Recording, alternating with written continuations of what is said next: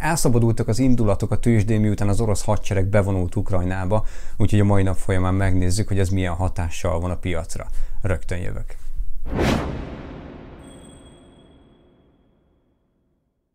A támadást követően természetesen folytatódott az erős sell azonban Joe Biden nyilatkozatát követően mindenki hirtelen elkezdett vásárolni, és megjelent egy-két zöld gyertya.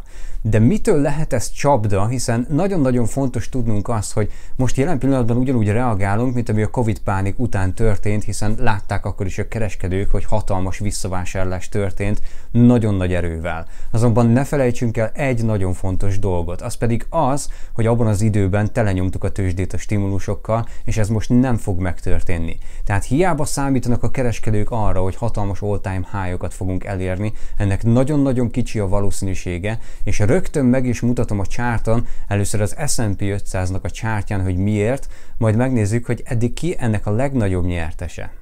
A Covid pánik után történt visszavásárlás igen éles volt, sőt annyira éles volt és heves, hogy gyakorlatilag egy soha nem látott all-time high szintet tudott elérni az S&P 500. Azonban az úton idefelé hatalmas mennyiségű összeget pakoltak bele a kormányok, és természetesen ezt tette lehetővé az, hogy ennyire nagy pénzzel fel tudjuk emelni egészen a 485-ös szintig az S&P 500-nak az árát.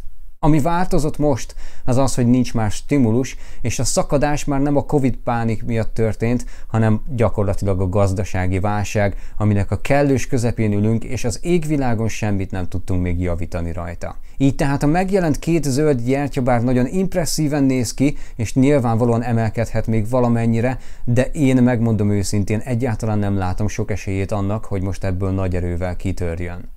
Ha azt mégis megtenné, pontosan rendelkezek azokkal a szintekkel, amelyeknek a törése egyértelműen konfirmálná az emelkedést, de még mindig úgy gondolom, hogy a maximális emelkedés lehetősége az ebben a sávban van a 469-470 dolláros ár környékén. Tehát nagyon valószínű, hogy bulltrapben vagyunk, és van még egy elem, ami konfirmálná ezt, az pedig az arany, és elmondom, hogy miért. Az arany reakciója Szellófra egyre pozitívabb volt az elmúlt hónapokban és hetekben, és természetesen megtörtént a kitörése is. Nem csak a 1850-et törtük, hanem gyakorlatilag az 1900 dolláros szintet is, sőt elértünk egészen az 1973 dolláros szintig. Ez már nagyon-nagyon komoly, azonban nem szabad elfelejteni, hogy konfirmált törés nem történt, a 1908-as szinten, tehát gyakorlatilag innen elkezdtünk visszaesni. Ha megnézzük az RSI-ét az aranynak, akkor világosan látjuk, hogy a konfirmált törés megtörtént az RSI csártyán is, ami azt jelenti, hogy hasonló mennyiségű visszaesést várunk, mint amit korábban tapasztaltunk az aranytól, csak kicsit modifikáltabban. Körülbelül ezt az arányt fogja megtartani a visszaeséseivel, ami azt jelenti, hogy ez a csárton már nem jelentene többet, mint a 1850, illetve a 1834-nek a meglátogatása, és ebből újabb emelkedést várok. Ha megnézzük a mozgás struktúrát, tehát hogy hogy viselkedett ahhoz képest, hogy az S&P 500 hogyan viselkedett, az S&P 500 sell offjakor természetesen felrobbant az arany, amikor megtörtént a bevonulás az orosz hadsereg által, viszont amikor Joe Biden nyilatkozott, akkor az S&P 500 hirtelen felemelkedett, és az arany azonnal vissza tudott zuhanni. De hogy ez miért fontos? Ez azért fontos, mert az arany egyértelműen jelzi nekünk, hogy megkezdődtek a pánik befektetések, tehát az inflációs hedgeként használt safe haven elem valóban most a háborús környezetben úgy reagál, ahogy kell. Tehát ellene megy a stock marketnek, viszont ez is erőlteti azt a predikciót, hogy a stock market további süllyedésre van ítélve a következő hetekben, illetve hónapokban. Nézzük meg, hogy ki lehet a legnagyobb nyertese ennek a szituációnak, hiszen van egy-kettő. Az egyik például az olaj, mert hogy mindenféleképpen számítunk arra, hogy áremelkedés legyen, ezt az amerikai kormány is elismerte, és természetesen az Európai Unió is elismerte, hogy a szankciók, amiket kivetünk Oroszországra, mindenféleképpen fájdalmasak lesznek Európának is, és az amerikai lakosságnak is. Ez energia árnövekedést jelent, az energia árnövekedés pedig további infláció növekedést, tehát az amúgy is növekedő inflációban még nagyobb növekedést várnánk, magyarul ez azt jelenti, hogy a Fed igazán nagy bajban van. Ugyanis a Fednek a politikája két éve arról szólt, hogy próbálja minél jobban visszaszorítani az infláció növekedést, és bár tudták, hogy nem kerülhetik el, de addig húzzák, amíg megfelelő megoldást nem találnak rá. Most nem hiszem, hogy a háború a megfelelő megoldás rá, de most ez van, tehát így szeretnék kihúzni mindkét fél részéről. Ami történik az az, hogy meg fogják emelni nagy valószínűséggel az olajnak az árát, a földgáznak az árát, ami miatt a szállítmányozások is drágábbak lesznek, ami miatt az élelmiszerek is drágábbak lesznek, és természetesen minden más. Nézzük tehát meg, hogy mi történik az olajnak a csártyán, a földgáznak a csártyán, és még egy-két másik elem, amit érdemes figyelni. Az olaj abszolút pozitívan reagál a dologra, de inkább úgy fogalmaznék, hogy nagy önbizalommal emelkedik. Egyértelműen megtörte a 96-16-os szintet, és nyilvánvalóan van még lehetőség arra, hogy visszateszteljen, de nagyon nagy esélye van, hogy eléri a 114,52-es célárunkat. És még az is lehet, hogy alálőttem ezzel a célárral, abban az esetben, hogyha ez a háború nem játszódik le a következő egy-két hétben ugyanis ekkor az amerikai állam valószínűleg nem lesz hajlandó olajat vásárolni. No! No. No, no, no. No, no, no. Így tehát mindenképpen fontolóra veszem azt, hogy a következő célárunkat is meghatározzuk az olaj esetében, melyhez ez esetben egy kicsit korábbra kell nyúlnunk, hogy mi történt. Van itt egy pár borzasztóan fontos csúcsunk, most eleve elértünk egy történelmi szintre az olajárával, ez egyértelmű, de hogyha 114 megtörne, akkor nagyon valószínűnek tartanám, hogy a 126-130 dolláros szintet körülbelül el fogjuk tudni érni. Nyilván lenne predik ambíció arra is, hogy ezen is túlmenjünk, de egyelőre maradjunk két lábbal a talajon. Úgy gondolom, hogy ez egy teljesen reális célár lehet, de tényleg csak akkor, hogyha a 114,52 meg tud törni. A földgáznál egy kicsit bonyolultabb a helyzet, ugyanis nagyon komoly ellenállásba ütközött a 4,792-es áron, ami miatt nagyon nehezen tudja elhagyni a felső trendvonalát, melyet ebből a korrekcióból alakított ki. Azonban a jelenlegi háborús szituáció feltehetőleg a legnagyobb erősödést fogja okozni a földgázban, hiszen tudjuk azt, hogy Oroszország a világ legnagyobb földgázszállító térsége. Egész Európa függ a földgázától, és ebben a szituációban teljesen egyértelmű, hogy számíthatunk az oroszok lépésére ilyen irányban. Ez pedig azt jelenti, hogy a 4,792 megtörése után, és természetesen a felső trendvonal elhagyásával nagyon határozott emelkedést várok az 5,962-es szintig, és hasonlóképpen az olajhoz, amennyiben a háború elhúzódik, a következő célárunk már a 8,135 lesz.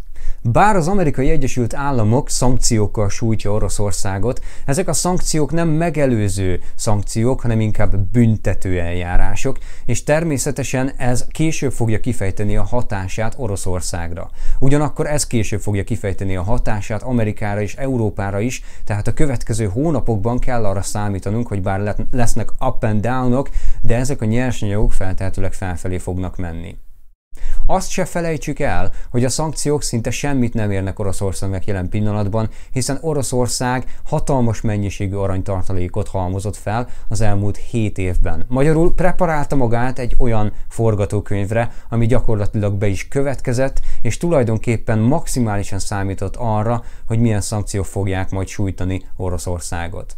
Tehát ők készen állnak, a kérdés csak az, hogy az Európai Unió és az Amerikai Egyesült Államok is készen áll erre.